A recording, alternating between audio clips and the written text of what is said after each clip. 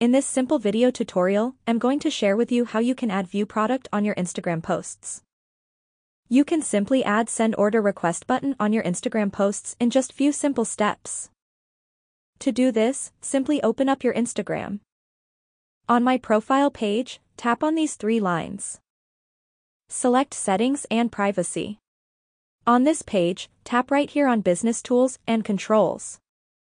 Tap on Monetization Status. You have to be eligible for Instagram monetization to access View Product button on your posts. Get back and upload any photo of your own choice. On this page, select Get Orders.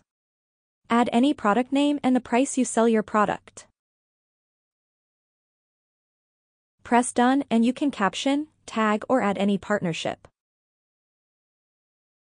As you can see, the View product will get added successfully.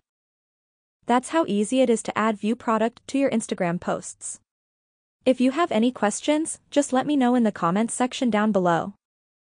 Please don't forget to leave a like, share and subscribe for more video tutorials like this one.